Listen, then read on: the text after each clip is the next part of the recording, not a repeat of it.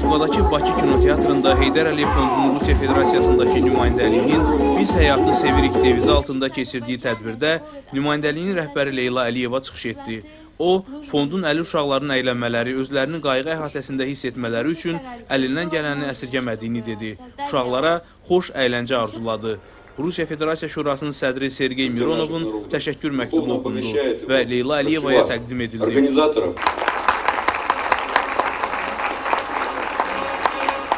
Dövlət Dumasının deputatı Natalya Karpoviç Heydər Əliyev fonduna xeyriyyəçilik işlərinə görə təşəkkür etdi.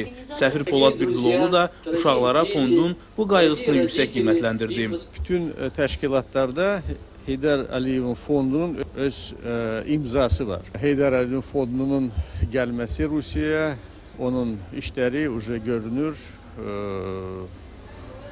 E, biz də bir yerdə bu bütün işləri görürük. Leyla Xanım'a da çok büyük teşekkürler bildiririk ki Moskva'da böyle büyük tedbirler geçirdiler. Ve çok güzel bugün bilirsiniz Ürey'den biz bu konserte baktık.